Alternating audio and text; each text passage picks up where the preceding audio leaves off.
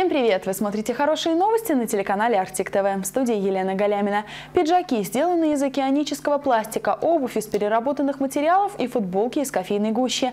Ярмарка экологичной моды открыла свои двери на полях недели моды в Берлине. Давайте посмотрим. В этом году неделя моды в Берлине сделала главной темой экологичность. В ее рамках проходит выставка «Неонит», на которой участники представляют изделия из переработанных материалов. Дизайнер Себастьян Тиес привез спортивную обувь на 100% изготовленную из водорослей. Еще одна ее особенность – первая в мире белая каучуковая подошва. На Земле становится теплее, это плохо. Но появляются новые ресурсы, такие как водоросли. Их непропорционально много, нужно от них избавляться. Однако водоросли также можно использовать как сырье. Эта испанская компания с 2013 года создает стильные и экологичные вещи. Сегодня у нее 70 магазинов по всему миру. Один из ее продуктов – пиджаки, сделанные из пластика, который выловили из моря у побережья страны. В морях очень много пластика, особенно у берегов Испании. Мы решили, что его нужно как-то достать. Обычно рыбаки выходят в море и выкидывают пластик, который запутывается в их сетях. Но мы начали им за него платить. Пластик превращается в пряжу, а пряжа превращается в одежду. Португальская компания показывает обувь, которую изготавливают из промышленных пластиковых отходов. В каждой паре есть встроенный чип. Если поднести к каблуку смартфон, то откроется веб-сайт с информацией о том, из каких материалов сделана обувь. Мы научились делать обувь хорошего качества и с хорошим дизайном из переработанных материалов. Она нравится людям, на такой есть спрос. Немецкий модный бренд тоже делает одежду из вторсырья. Например, его футболки созданы из сочетания хлопка и нити из кофейной гущи. Кофейное углеродное волокно – это отходы кофейной индустрии. Уникальность его в том, что это природная защита от ультрафиолетового излучения. Он действует как дезодорант, а еще защищает кожу. Еще одна португальская компания представляет обувь, в производстве которой задействован пробковый материал, а также обивка сидений старых автомобилей. Uh, Почему бы это не использовать? Нам нужно перерабатывать отходы и искать новые пути того, как это делать. В целом на выставке представлено более 210 брендов.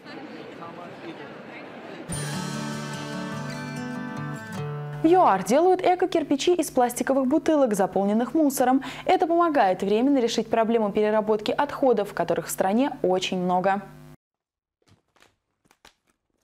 На складе в Кейптауне сортируют пластиковые бутылки, заполненные мусором. Но теперь это уже не отходы, а эко-кирпичи. Их используют как строительный материал при создании некоторых форм конструкций.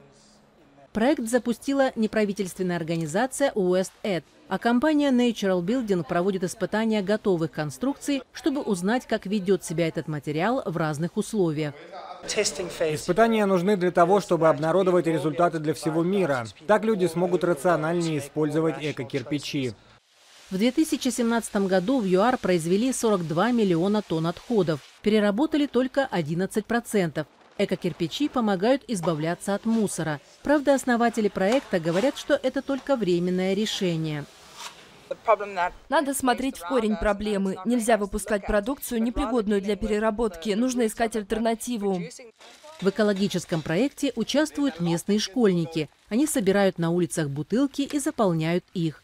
На окраине Кейптауна из эко-кирпичей и стеклянных бутылок построили уже несколько зданий, в которых располагаются учебные заведения. Эко-кирпичи из разноцветных бутылок очень красочные. Раньше их выбрасывали в мусорные баки, а теперь можно собирать бутылки и бумагу и с их помощью создавать что угодно.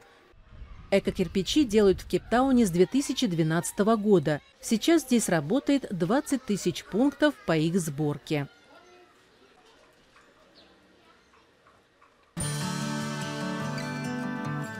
В Италии появился первый горнолыжный курорт, который полностью отказался от пластика. Там на альтернативные, более экологичные материалы заменили все, включая трубочки для напитков и билеты на подъемник. Оставь весь пластик, всяк сюда входящий. Такая надпись теперь красуется на входе на итальянский горнолыжный курорт Пио в провинции Трента. Здесь решили полностью отказаться от этого материала, заменив его на более экологичные альтернативы. Например, в кассах перед подъемником больше не выдают пластиковых карточек. Что касается билетов на подъемник, мы заменили пластиковые билеты на бумажные. По всему курорту развесили огромные плакаты, которые на нескольких языках призывают посетителей уважать новые правила. Это местный ресторан. Здесь пришлось хорошо потрудиться, чтобы избавиться от всего пластика. Мы заменили все, даже самые маленькие вещи. Пластиковые бутылки заменили на стеклянные. Также трубочки, контейнеры, стаканы и одноразовый пластик заменили альтернативными вариантами, сделанными из разных материалов. Например, целлюлозы, картона и прочего. Как ожидает местный муниципалитет, благодаря усилиям курорта в 2020 году пластиковые отходы здесь сократятся на 5000 трубочек, 45 тысяч бутылок, 12 тысяч упаковок для кетчупа и майонеза, а также 15 тысяч пластиковых стаканчиков. Хотелось бы прекратить использовать пластик во всех сферах, а не только на горнолыжных курортах. Но я уверен, что на 100% отказаться от него не получится, поскольку он необходим для нашей жизни и экономики. Однако сократить его использование было бы замечательно и для нас, и для нашей планеты. Это уже не первый экологический проект для этого региона. Ранее здесь перешли на зеленую энергию, построив три небольшие гидроэлектростанции. Кроме того, частные дома, отели и общественные здания отапливают с помощью древесных отходов, которые остаются на местных деревообрабатывающих предприятиях. В Кейптауне недавно открылся капсульный отель. Таких в Африке пока немного. Гостиница с крошечными номерами уже пользуется спросом. Такие гостиницы с крошечными номерами давно привычны в Японии. Но вот в Кейптауне капсульный отель появился недавно. В каждом номере 6 капсул с двуспальными кроватями. Внутри есть телевизор и розетки. Работает беспроводной интернет. Под капсулами располагаются камеры хранения. Капсулу можно запереть на ночь, чтобы чувствовать себя в безопасности. Внутри работает вентиляция. Также есть место для одежды, и вы можете в беспроводных наушниках смотреть по телевизору любые передачи. Идея открыть капсульный отель зародилась потому, что в Кейптауне мало места для строительства. Для того, чтобы получить больше спальных мест, нужно либо уменьшить номера, либо увеличить здание. Многим туристам капсульный отель нравится больше, чем обычные хостелы. Он лучше, потому что можно уединиться, а я люблю уединенность. И капсулы чистые, к тому же стоят очень дешево. Сначала эта концепция показалась странной. Я подумала, неужели мне придется спать в ящике? Но первая ночь прошла удивительно. Это так необычно. В отеле 200 капсул. Также скоро откроются 50 обычных номеров для тех, кто хочет побольше комфорта.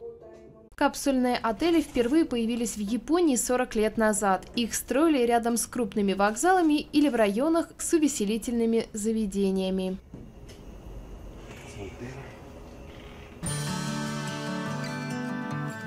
Рыбацкая деревня в Марокко в последние десятилетия превратилась в популярнейшее место для серфинга. Его ценят и профессионалы, и любители, поскольку каждый находит там подходящие условия.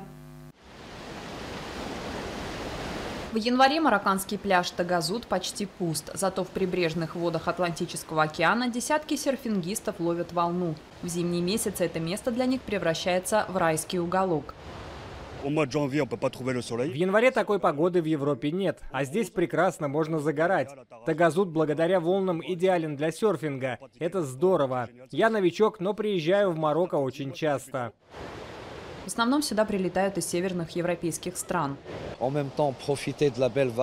Они не боятся волн. Здесь есть несколько мест для профессионалов, но также есть места для начинающих и еще не очень опытных серфингистов. Благодаря этому они постепенно улучшают навыки. Когда-то Тагазут был просто рыбацкой деревней. В 60-х годах сюда начали приезжать серфингисты, и все изменилось. Раньше серфингом занимались только туристы и лишь несколько марокканцев. Со временем в Тагазуте становилось все больше туристов, поскольку этот вид спорта очень популярен здесь. У нас также появляется все больше клубов и ассоциаций серфинга. Жизнь деревни почти полностью перестроилась, чтобы отвечать нуждам туристов. Магазины и пункты проката для серфингистов есть на каждой улочке. Этот магазин был первым кафе и рестораном в Тагазуте. Им управлял мой дедушка, который одновременно был рыбаком и ресторатором. Он продавал таджин. Теперь это магазин с товарами для серфинга. Тагазут находится в 20 километрах от города Агадир. Туризм теперь важная отрасль местной экономики.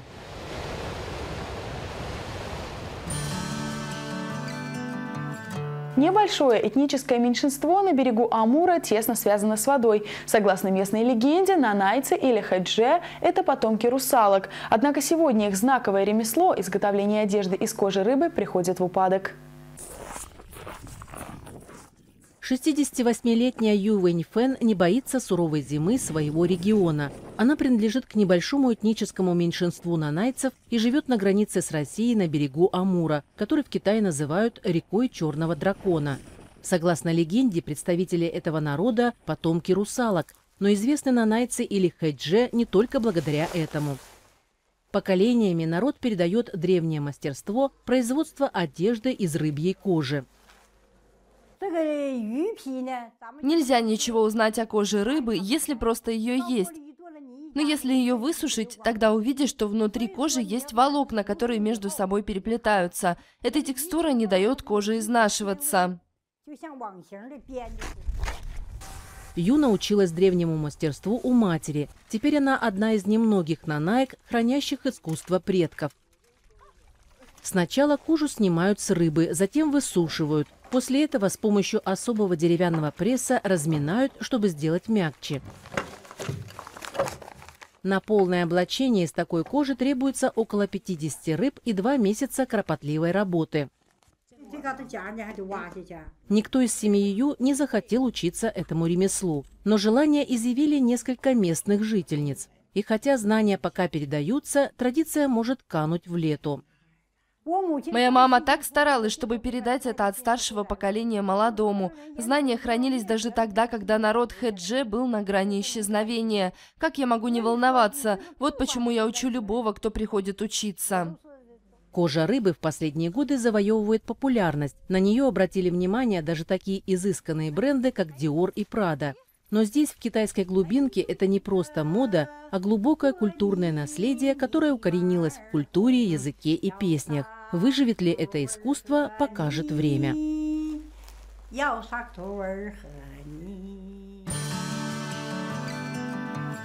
В Саудовской Аравии растут продажи музыкальных инструментов. Благодаря социальным переменам саудовцы теперь могут открыто интересоваться искусством. Раньше в мусульманской стране это осуждалось.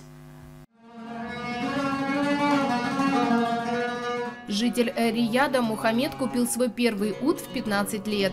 По дороге домой он был вынужден прятать инструмент, чтобы избежать неприятностей. Однако благодаря социальным переменам в Саудовской Аравии светская музыка больше не запрещена. Раньше всегда приходилось скрываться, чтобы не привлекать внимание. Теперь после перемен можно петь в ресторанах и играть на инструментах в общественных местах, в парках. Можно спокойно отдаваться своему увлечению. Теперь на старейшем рынке музыкальных инструментов в Рияде часто звучит музыка, а люди больше не прячут свои покупки.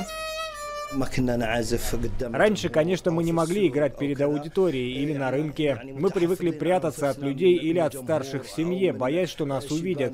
Но теперь общество стало более открытым. Молодежь может заниматься музыкой, и старые и молодые могут играть, петь, интересоваться искусством и ценить его. До этого покупателей было мало, потому что они боялись. Но теперь все стало более открытым, торговля идет хорошо. Приходят саудовцы и люди других национальностей. Они покупают гитары и другие инструменты. Перемены в уклад жизни саудовцев вносит наследный принц Мухаммед бин Салман. Ранее он также разрешил женщинам водить автомобили и снял запрет на светские развлечения. Раньше мы ездили за границу, например, в Бахрейн, чтобы послушать музыкантов. А теперь люди приезжают к нам, чтобы послушать нашу музыку.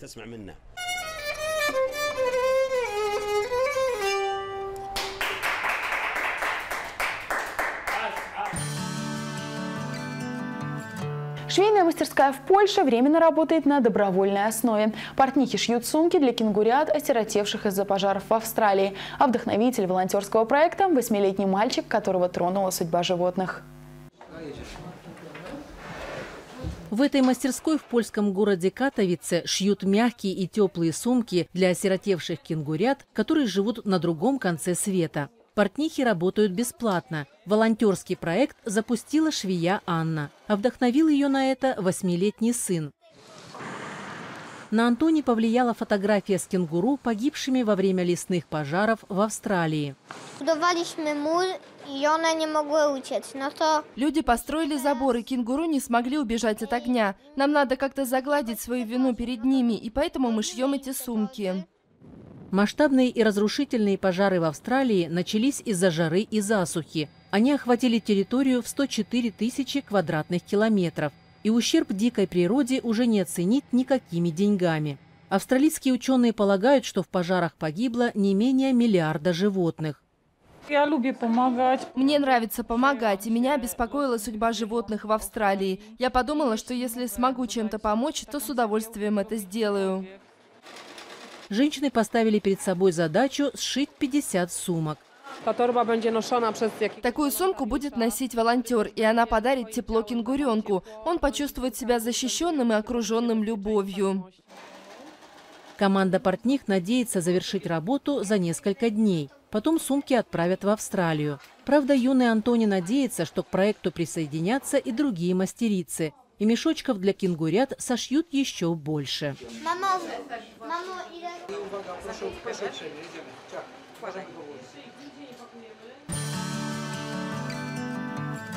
Венецианский остров известен своими яркими домами, кружевами ручной работы и традиционным печеньем. Но население там сокращается, и местные жители изо всех сил стараются сохранять традиционные ремесла, чтобы поддержать экономику острова. Яркие разноцветные домики – визитная карточка венецианского острова Бурана. Каждый год здесь бывает полтора миллиона туристов. Но этого недостаточно, чтобы поддерживать местную экономику. Поэтому жителей на острове остается все меньше. Многие не хотят жить здесь из-за разных трудностей, таких как наводнение и дороговизна. Такие простые товары, как еда и бензин, на острове дороже, поскольку их привозят на водном транспорте. С жильем тоже проблемы. Квартиры в старых домах двухэтажные, 20 квадратных метров на первом этаже и столько же на втором. Менять планировку нельзя, но для современной жизни такое жилье уже не подходит. На острове живут 2700 человек, но каждый год становится меньше на 60 жителей. Одни умирают, а другие уезжают на материк. Местные предприниматели объединились в группу под названием «Родная Венеция», чтобы спасти Бурана и соседние острова Торчелла и Мацорба. Они стараются сохранить традиционные ремесла и обучают им молодежь. Магазины все равно будут работать, даже если Бурана превратится в музей, но остров станет другим. Поэтому мы хотим, чтобы люди гордились тем, что живут здесь. Бурана уже полтысячи лет славится своими кружевами. Здесь есть музей, посвященный этим изделиям, и множество магазинчиков кружев. Традиционному ремеслу здесь обучают даже иностранцев. Остров также считается родиной печенья бусола. Раньше оно было круглым, чтобы рыбаки могли его подвешивать и на печенье не попадала вода. Теперь бусола делают разной формы и иногда добавляют в тесто шоколад. А это остров Торчелла. Здесь живет Доминика, один из 20 краболовов, оставшихся на трех островах. 50-летний мужчина самый молодой из них. Он организует прогулки по воде для туристов и учит их ловить крабов. Мы делаем ставку на туристов, которые осознанно едут сюда с какой-то целью. Для нас такой туризм очень важен, поскольку может помочь восполнить недостаток доходов зимой. На острове Мацорба один предприниматель возродил виноградник, а рядом открыл отель и ресторан, у которого уже есть звезда Мишлен. Ну а жители Бурана радуются каждой новой семье и каждому новорожденному. На острове осталось еще много молодых людей, которые хотят здесь жить и хранить местные традиции.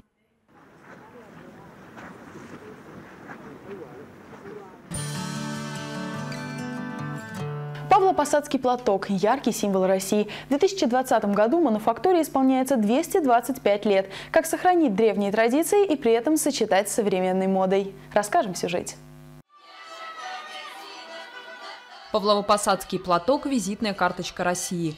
Его расписные узоры – символ самобытной красоты. В этом году Павлово-Посадской мануфактуре, что в Подмосковье, исполняется 225 лет. Ее основали в последний год царствования Екатерины II. По случаю юбилея в Академии художеств выставка платков. Самый ранний экспонат 1894 года. Россыпь роз, резные элементы прялок и наличников. До революции платки на красном фоне предпочитали жители Рязанской губернии, в Поволжье на темно-синем. Классическим же считается рисунок с красными розами на черном фоне. Платки носили как и высшие сословия, так и купчихи. Даже зажиточные крестьяне, они тоже могли. И это был прекрасный подарок такой, если мужчина покупал такую шаль дочери или жене. Эти же шали дошли до нашего времени. Раньше одежду складывали в сундуки, хранили и только одевали, может быть, по праздничным дням. Примечательно, что до 1917-го художниками на мануфактуре работали лишь мужчины. Сейчас наоборот, вдохновение черпают в дореволюционных образцах. Однако как вписать народные мотивы в современную моду? Над этой задачей бьются столичные дизайнеры. В шоуруме в Столешниковом переулке в самом центре Москвы стильные варежки и свитшоты из павлово-посадских платков цвет прошлого этого года белый. Как раз вот, например, в этот Новый год очень актуальны были вот такие вот варежки с голубыми цветами, с белой опушкой, да, потому что они, соответственно, подходят э, по тенденциям к той повседневной одежде, которую покупают люди в магазине, потому что такой яркий акцент и яркий аксессуар из палопосадского платка – это зачастую такое пятно повседневному, такому более монотонному, монохромному образу. Из минусов такие вещи нельзя стирать, остается только сдавать в химчистку. Главные клиенты – иностранцы и столичные модницы. Вещи из стопроцентной шерсти мериносов не только знаковый, но и очень теплый подарок. Продажи активизируются к зиме с октября по март. Полупосадский платок и полупосадский характер – это девушка, которая очень любит русскую литературу, очень вдохновляется русской классикой, очень часто бывает в русских лугах, лесах. При этом это не отменяет того, что она может жить в большом городе, быть очень космополитичной, очень модной особой. Каждый год Павлово-Посадская мануфактура обновляет коллекцию 50 новыми рисунками, производя около полутора миллионов метров платков.